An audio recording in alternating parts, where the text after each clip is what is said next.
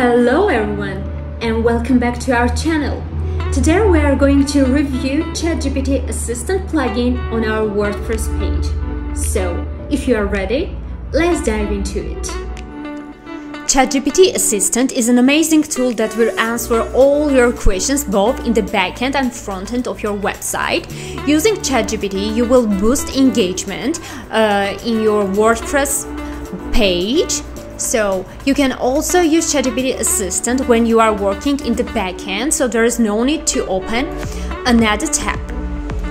Okay, so here you can see that I have I have already installed our ChatGPT Assistant. Here we have it, as you can see. We need to click on that. Okay, so, so here we need to get an API key from our OpenAI, but before getting a key, we need to sign up. For signing up, we need to click on here, and you can sign up with your Google account, as I did, and as you can see, I have already signed up. We need to go back, and it's time for getting our OpenAI key. We need to click on here, create new secret key, we need to generate our key, copy it, and then go back. So we need to paste it here, connect. And as you can see, we already have our ChatGPT assistant. So for example, let's imagine, imagine that we don't know how to create a WordPress account and let's ask to our assistant. And as you can see, within few seconds, our WordPress assistant generates the answer and you can here copy the answer if you want or if you don't want to read, you want to listen to it, you can freely listen to it. We have that option too. So now let's see how our ChatGPT assistant works for posts. We need to click on add new and let's ask our assistant to write an article for us. For example, how to create a blog.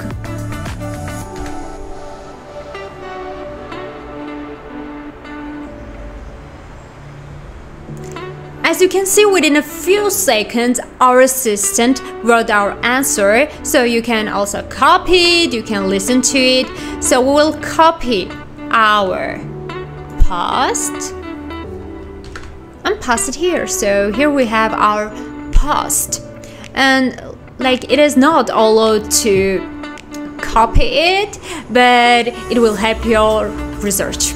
Now let's see what we have in our ChatGPT Assistant settings.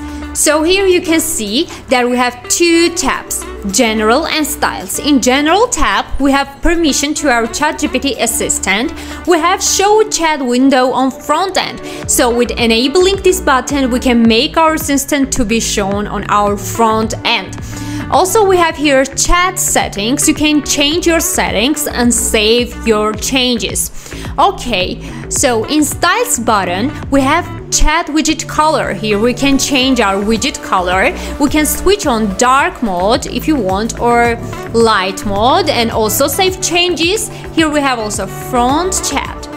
With front chat, we can display our assistant in all our pages if we want or accepting some posts or including some posts. So if you did any changes, you need to save your changes and after that, we can use our ChatGPT assistant as you want.